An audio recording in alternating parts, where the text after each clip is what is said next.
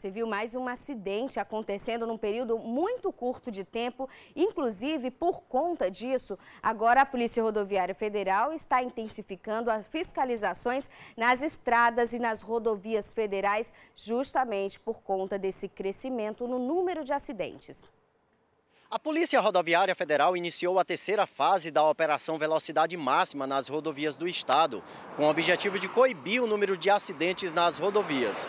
O inspetor da Polícia Rodoviária Federal, Jordan Aguiar, tem mais informações. O Piauí, especificamente o trecho da BR-316 ali, entre os quilômetros 0 e 10, do balão da Miguel Rosa até o balão do Porto Alegre, ficou entre os 20 trechos com maior número de acidentes graves decorrentes de excesso de velocidade.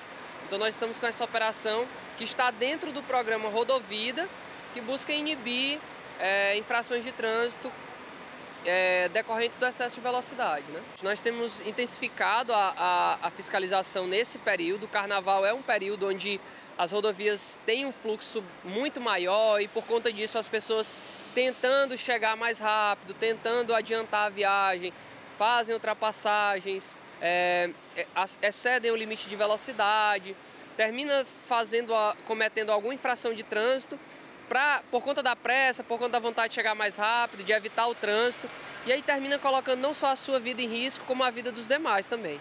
Aos motociclistas, que infelizmente são as principais vítimas aqui no Piauí dos acidentes mais graves, geralmente com óbito, evitar andar de, de motocicleta sem capacete, evitar beber e dirigir, né? Essas são algumas das orientações, são os principais motivos de acidentes de trânsito. Por enquanto, essas são as informações. Júnior Medeiros para a TV Antena 10.